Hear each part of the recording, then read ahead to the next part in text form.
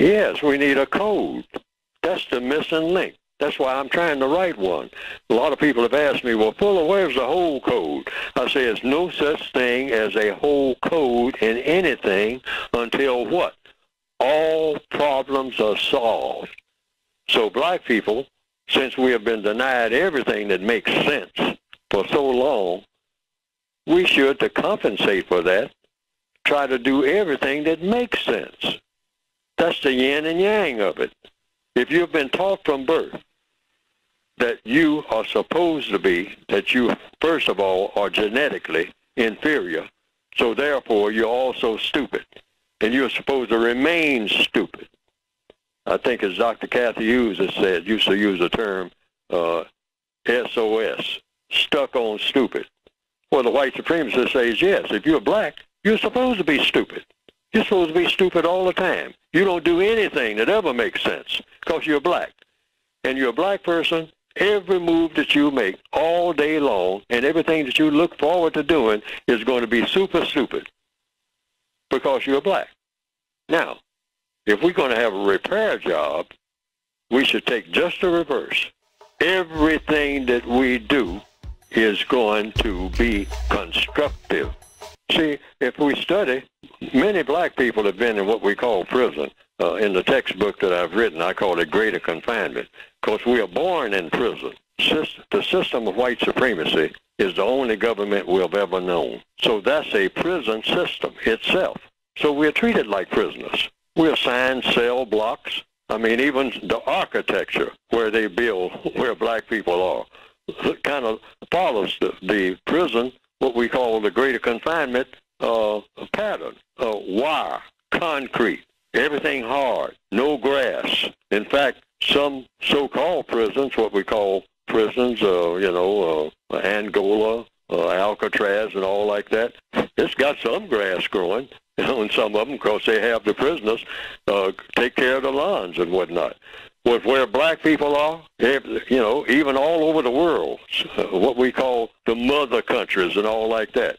One of the first things you notice, where there's a lot of people, you know, there's a lot of mud, roads, uh, just where most of the huts are and whatnot. No grass, no well-tailored lawns of any kind, just dirt and sand, okay? Now, most prisons look like that, in particular in the old days back when they had the gray walls. Uh, that was long before they started polishing floors and all like that and making the prisons prisons prisons look better, which is what they have done for black people worldwide. We're still in a prison, all of us, and they have made the prison look better.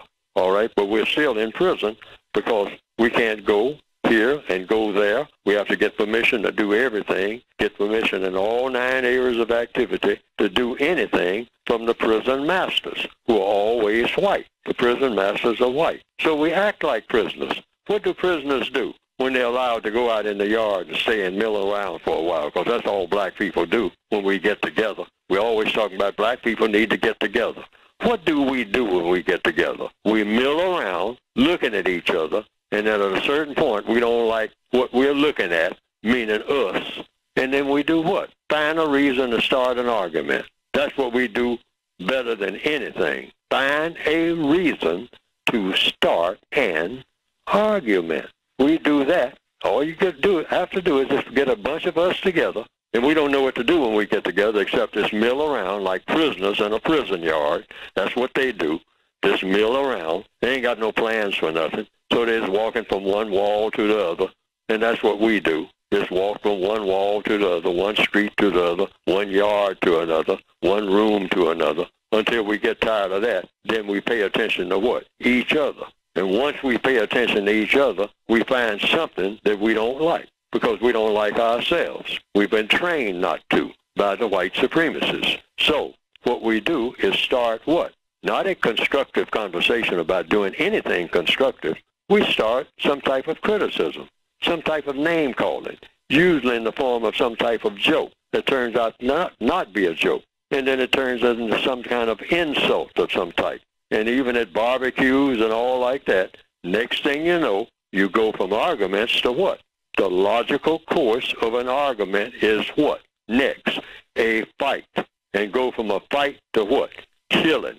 And then the white supremacists already know that in their prison yard. They know their prisoners are going to get out there in the prison yard. They stay out there long enough, bumping into each other. A fight is going to start. And then if they got any kind of shank, as they call them, behind walls, any kind of weapon, they're going to use that on each other.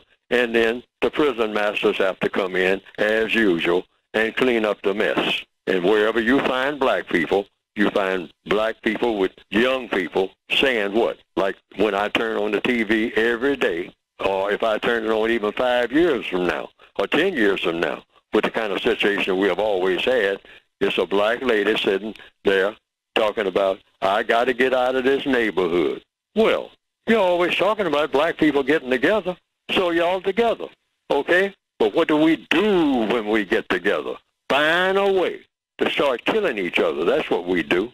We're going to find a way because that's all we know. I mean, we run out of things to do, which is what prisoners do, run out of things to do.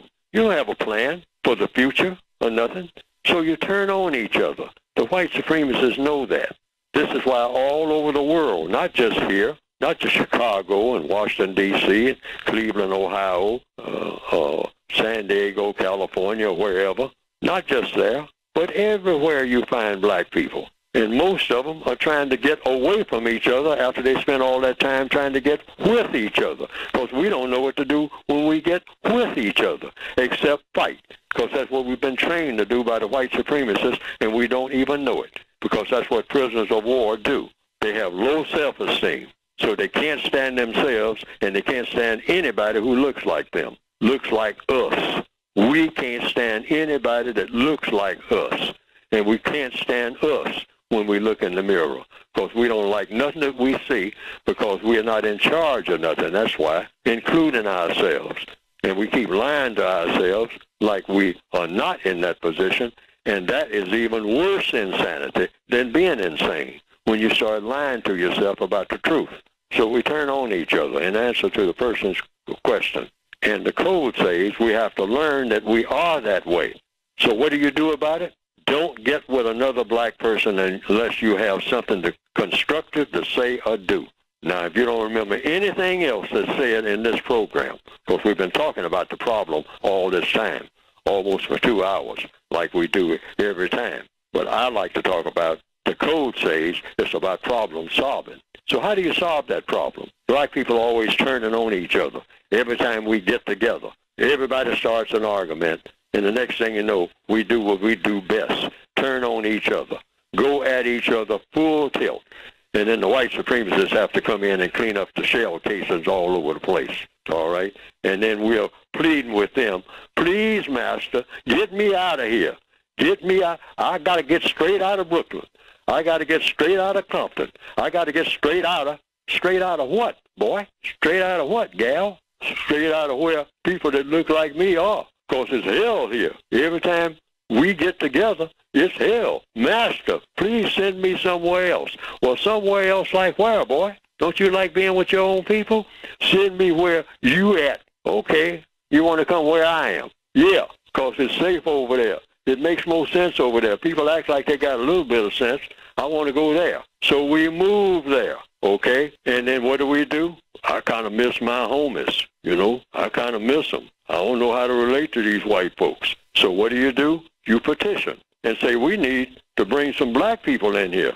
Those are the same black people you just got through running from. Like right now, as we talk, all over the world, I'm talking about all over the world now, black people. Black people are asking one question, many of them, the most educated ones.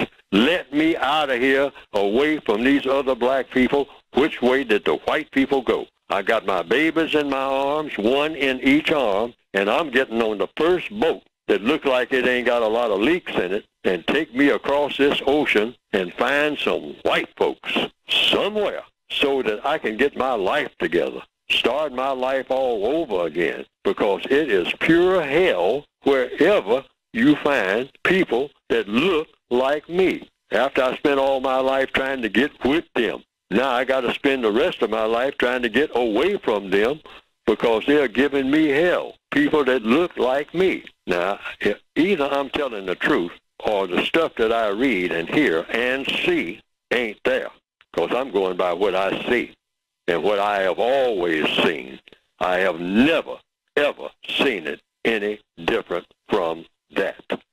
Period.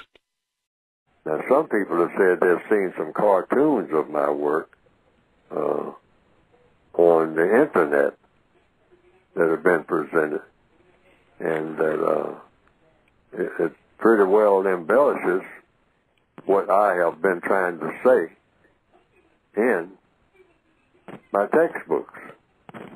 And uh, to the extent that it does that, well, that has been, from what I understand, some people reported to me, a plus.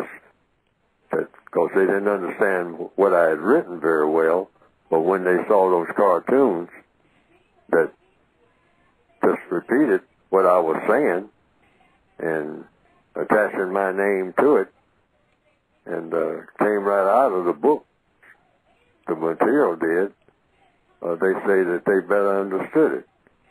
And I can understand that because people are kind of visual, particularly in the year 2021 now, uh, more visual than ever.